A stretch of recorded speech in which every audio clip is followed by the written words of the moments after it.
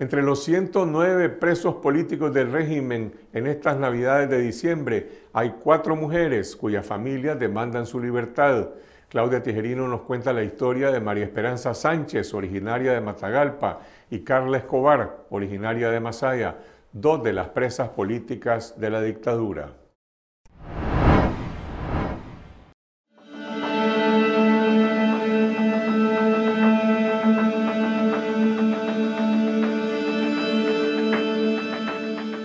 Ella pues siempre ha sido, se podría decir, como una líder.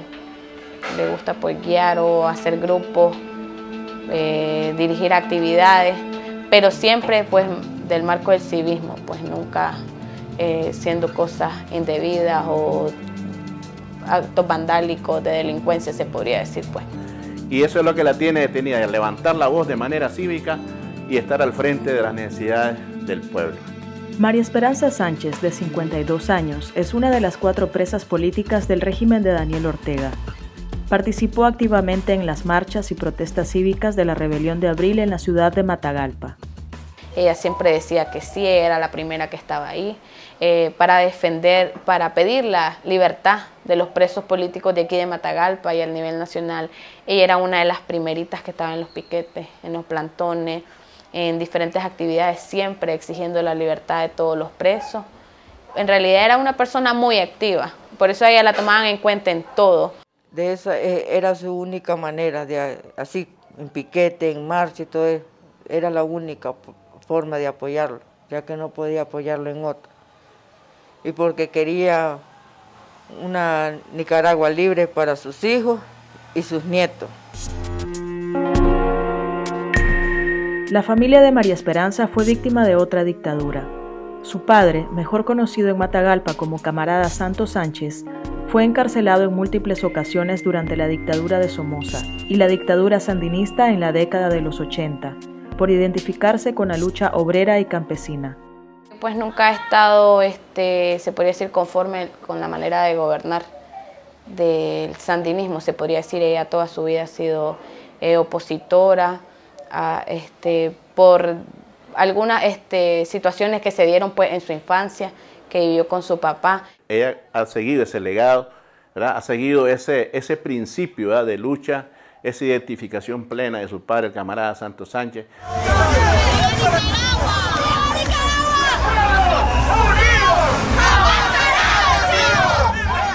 En abril 2018, María Esperanza Sánchez se unió a la demanda nacional por un cambio democrático desde que empezó a ver que se dieron nuevamente pues estas violaciones a los derechos humanos, hacia la integridad pues de las personas, entonces ella se sintió este, como que lo volvió a vivir y se integró pues para ayudar a los jóvenes, a los ancianos y también porque ella miraba en los, en los jóvenes que participan ahí, miraba eh, se podría decir, nos miraba a nosotros ahí, también por defender de alguna manera los derechos de nosotros, que para ese tiempo pues, estábamos estudiando. Hoy en día que tenemos nuestra hermana pues, detenida, ya cumplió 10 meses, que es muy, es muy difícil ¿verdad? tener una hermana detenida, pero en el otro aspecto también tenemos que valorar de que no se puede callar cuando hay injusticia, no se puede callar cuando las situaciones están mal, cuando se están cometiendo un montón de errores ¿verdad? En, el, en, el,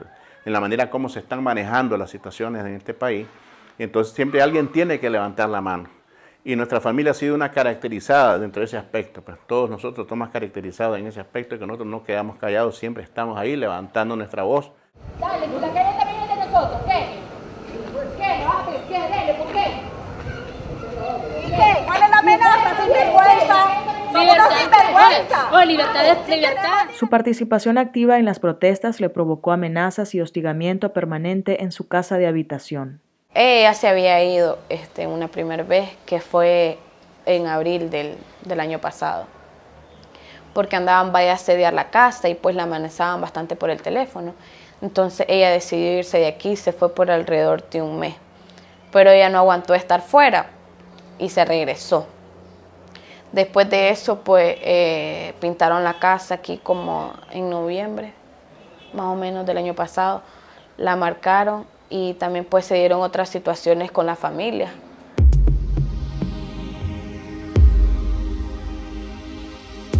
El 26 de enero de 2020, María Esperanza fue detenida por un fuerte contingente policial en una casa de seguridad en Managua y fue trasladada a la Dirección de Auxilio Judicial.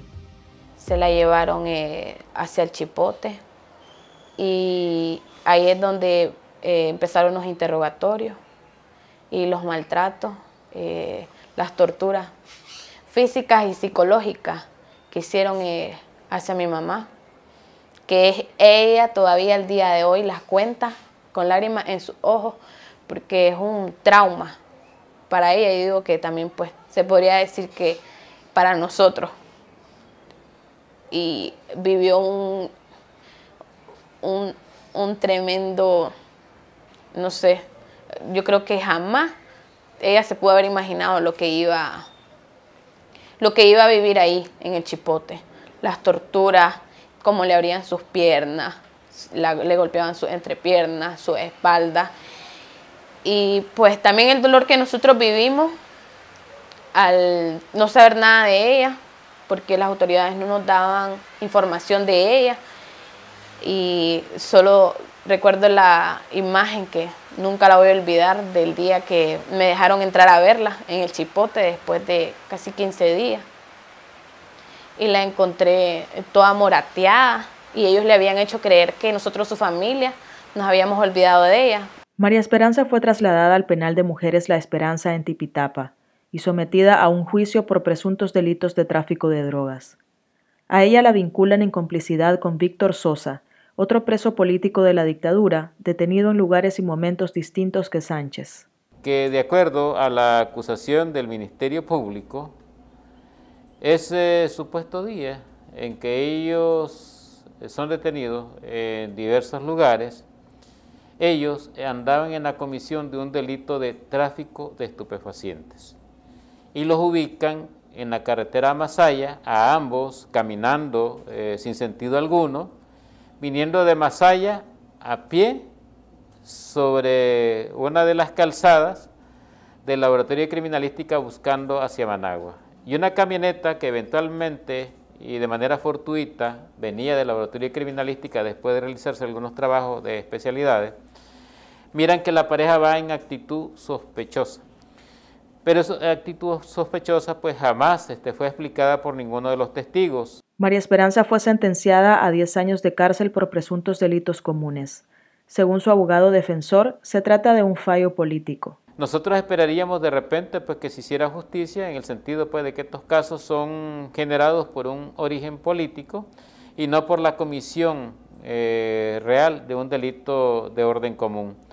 Eso lo hemos demostrado. Hay una situación que se puede verificar de que efectivamente María Esperanza Sánchez es una persona que ha estado activa dentro de la protesta.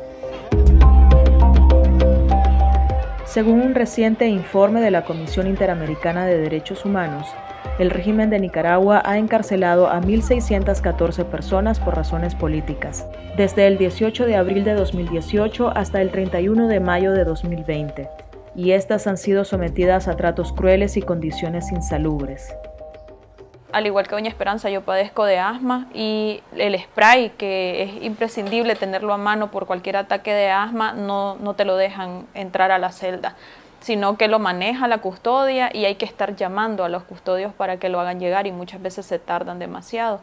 Wendy Juárez es una excarcelada política de Matagalpa. En la parte de la comida, te juegan la comida con las manos sucias los, los policías, eh, no sé qué pensarán que te van a meter un arma en la comida y ellos la juegan con la mano sucia. Nosotros lo logramos ver muchas veces.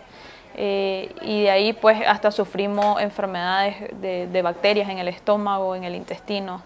Según la CIDH, al menos 108 mujeres han sido encarceladas durante las protestas sociales hasta el pasado 31 de mayo. Actualmente, cuatro guardan prisión en las cárceles de la dictadura. Además de María Esperanza Sánchez, se encuentran recluidas Celia Cruz y Juana Estela Alemán, originarias de Moyogalpa, de la isla de Ometepe, y Carla Vanessa Escobar, de Masaya. Carla, ¿cuánto tiempo estuvo usted eh, en la cárcel? Dos meses y medio principio de enero fue, ¿verdad? Duro, doña Carla. Duro, fuerte. A Carla se la llevaron el 3 de enero del 2019 eh, de aquí de la casa con lujo de violencia. los tuvieron a toditos boca abajo. Carla Escobar es fisioterapeuta de profesión. Fue capturada por segunda vez en abril pasado y condenada a 13 años de cárcel por presunto delito de posesión ilegal de armas y lavado de dinero. Su familia relaciona las causas del encarcelamiento por su activismo en las redes sociales. Ella opinaba en las redes sociales, pero jamás fue a un tranque, nunca ha discutido con nadie en ninguna parte. Y eso es lo que a nosotros nos asusta por el motivo de que ella no, no, tiene aquí vecindario de decir de que, que comenta algo con los vecinos, a la venta y más nada. De no ser liberada, esta será su primera Navidad en prisión. Se le está cayendo todito el pelo. Por cuenta de los nervios. Ya tiene todo este pelón. Sí. Ya son seis meses y medio, vamos para los siete meses ya. Los familiares de 118 reos de conciencia demandan una Navidad sin presos políticos. Iniciamos otro diciembre elevando la voz de nuestra familia a tres años sin libertad y justicia. Seguimos sufriendo los atropellos de esta dictadura que continúa secuestrando, asediando, torturando y violando los derechos humanos en Nicaragua es terrible. Más en esta época se encrudece mucho más porque mm, las navidades en Nicaragua y los diciembres en Nicaragua son bastante llenos de, alegría familiar, de bombas, de cohetes, de la cena navideña, de, de, ir a visitar a tu abuelita.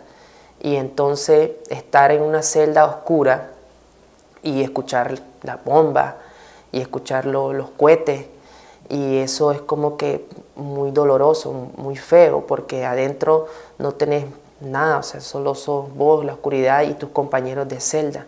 Alan Gómez es un excarcelado y ahora pertenece a la Unión de Presas y Presos Políticos. Y aunque adornan con manteles, hacen comidas especiales y tienen que levantarse temprano las familias, hacer unas grandes filas, pasar por un sistema de requisa en donde las desnudan en donde les revisan todo, si llevan algún regalo para su familiar, se lo destrozan, las humillan, tienen que cargar los sacos la paquetería a ver porque no saben si los van a poder ver hasta el siguiente año. Y luego sentarse y ver a su familiar vestido de azul y llevar a, su, a los solo ocho personas pueden estar en la visita y tenés que seleccionar y si esta persona tiene cinco hijos y quiere verlo su mamá, su papá o su hermano, no, no pueden verlo. Entonces eso es muy duro para la familia. Las familias de presos políticos y abogados defensores urgen a todos los sectores civiles y políticos unir fuerzas en la demanda nacional por la liberación de los reos de conciencia. Si los políticos, si la sociedad civil, si el, si el empresario no se unen a la misma voz de nosotros, los defensores, en cuanto a la reivindicación de los derechos y garantías, la liberación de los presos políticos, aquí esto no va, no va a avanzar. Y no es justo que vayan a negociaciones o a elecciones y habiendo tantos presos ahí. Creo que debería ser prioridad la libertad de ellos y no se ha puesto en prioridad.